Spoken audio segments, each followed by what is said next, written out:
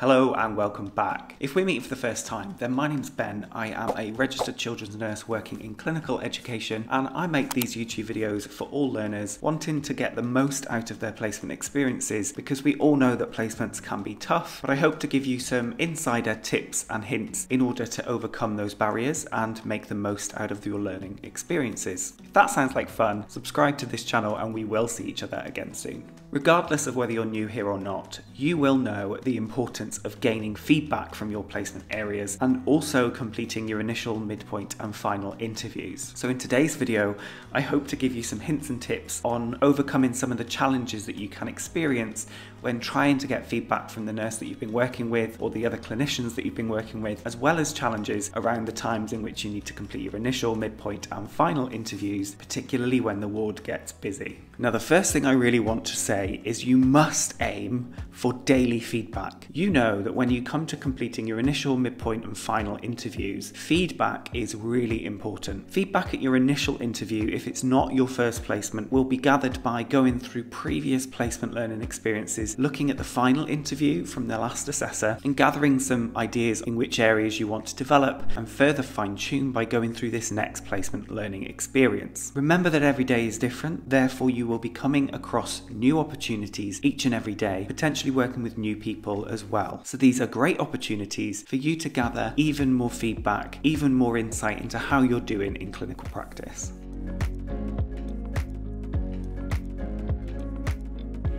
You potentially can write your own feedback. Now, it's always going to be tempting to only write the best things, but if you truly are able to reflect on your day, through reflection, you'll be able to highlight the challenges in which you've encountered, and that could be the constructive element to your feedback. But you're also able to then pinpoint the stuff that happened that you are really proud about. That is really important when you come to writing your feedback because potentially it could demonstrate that you're achieving your goals, but it's also just a really nice thing to be able to do as well. Highlight to the people that you're working with the stuff that you're really proud about. So you could either write this feedback as a piece of feedback in your area in which the staff write feedback, but you could also complete it as a reflection. Now I know that you are meant to get feedback from the staff that you're working with, but when days get busy, it's really quite hard for you as a learner to try and either track somebody down to write the feedback, or there's this innate guilt that we have as learners in practice where we know that the nurses or the clinical teams have been so busy the last thing they're going to want to do is then complete a bit of feedback in your pad. However,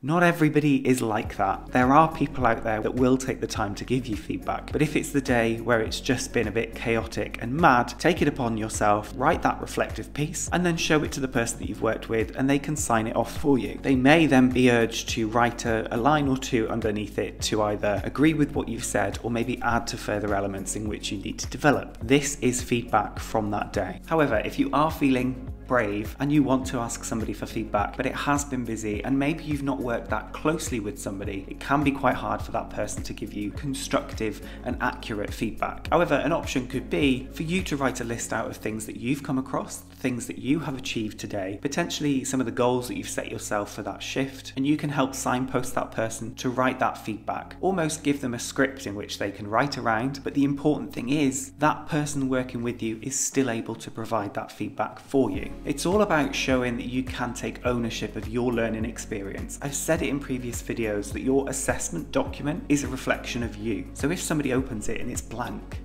what does that say about you? Now, the timing in which you ask for feedback can be quite critical. If you ask at the wrong time, sometimes it can feel that somebody just shrugs you off and says, yeah, we'll get to that later. So timing really is everything, but when is the right time to ask for feedback? An easy cop-out answer to that question would just be every single time that you have an opportunity. Now, I don't mean to continually ask the same thing, but find ways in which work for you to gather feedback. What I mean by that is if you ask somebody, could you complete my assessment document at the end of the day, and it never happens, then clearly that way of asking somebody is not going to work. However, if you have found that maybe bartering with the staff works, i.e., I know it's been really busy today, is there anything I can do in which I can give you some time so you can sit and write some feedback in my book? They might then come back with something in which you are able to do to free up time for that person to spend 10 minutes or so writing some feedback. Another potential way that has worked for me and other students in the past is prompting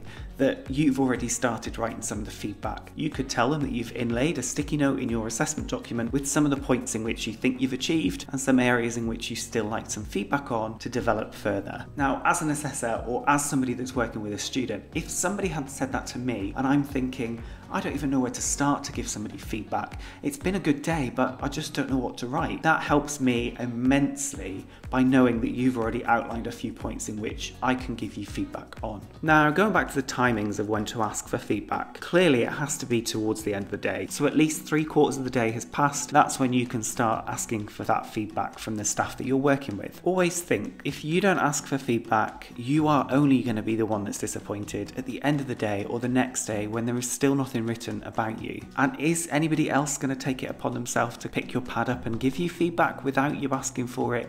Potentially, I would. So please don't feel guilty by asking people to give you feedback more than once in a shift. It might be the only way that you get that feedback. It doesn't mean they don't care about you, it doesn't mean they're not grateful for everything that you've done. It just means that the care for that patient has clearly come first, which is good. So when it comes to your assessments, your interviews at midpoint and final, the same principles apply. You may need to continually ask for somebody to complete them. However, the best course of action is to pre-plan them. One option that could work is if your ward area has a diary in which they write the staff members on each shift in, that could be a place in which you write next to your name, you're planning to get your initial done today, your midpoint done today, or your final done today. As a nurse in charge, I will be responsible then for allocating a sensible and appropriate shift. So if I know that Ben, the student nurse, is planning to get his initial done today, I might then have an opportunity to help out the nurse that's working with Ben to free up a bit of time to get that interview done. So if your area that you're on has something like that, it could be a really good opportunity to highlight that you're planning to get something achieved today, an initial, a midpoint, or a final.